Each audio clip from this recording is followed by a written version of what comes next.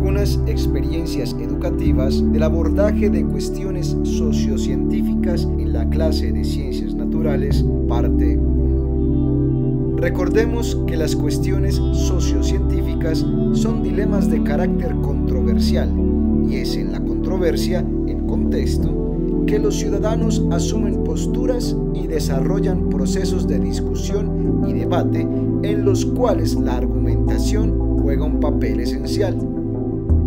Reconocidos académicos consideran que la argumentación sobre dichas cuestiones contribuye al desarrollo de pensamiento crítico, al aprendizaje de las ciencias naturales y sobre la naturaleza de la ciencia. Algunas estrategias que permiten a los maestros el abordaje de las cuestiones sociocientíficas en sus clases son los juegos de rol.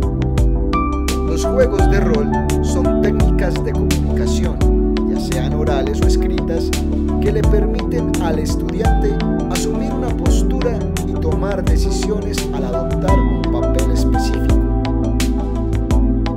Algunos juegos de rol, como actividades socioculturales, pueden ser los que varios autores denominan casos ficticios o el abordaje de casos reales actuales por su relevancia relacionados con el conocimiento científico.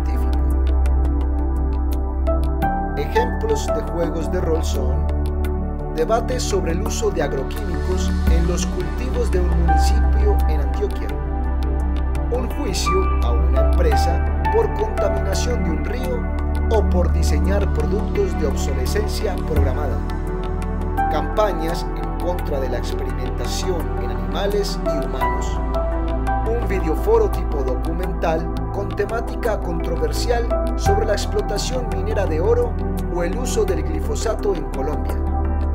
Las actividades anteriormente mencionadas promueven en los estudiantes el trabajo colaborativo, el asumir responsabilidades éticas, la construcción de explicaciones, el uso de analogías y la argumentación sustantiva y sustentada en conocimientos y saberes propios de las ciencias